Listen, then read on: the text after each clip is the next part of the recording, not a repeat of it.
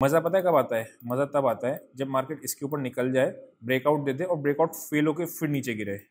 या फिर मार्केट नीचे गिर जाए और ब्रेकडाउन दे दे और ब्रेकडाउन फेल होकर फिर ऊपर जाए। इसमें पता है क्या होता है? क्योंकि सारा हिंदुस्तान को ब्रेकआउट मुझे आप कोई भी एक प्राइस सेक्शन का ट्रेड उठा दो, जो ये एक मना कर दे, कहने कि इसके ऊपर ब्रेकआउट है और इसके नीचे ब्रेकडाउन राइट तो सारा हिंदुस्तान इस पर बाय करने लगेगा और सारा हिंदुस्तान इस पर सेल करने लगेगा। और वो उल्टा हो जाए और जब ऊपर जाना शुरू हो जाए या ऊपर से इस तरीके से नीचे आना जाए शुरू हो जाए तो बड़ा चांदी ट्रेड मिलता है वो।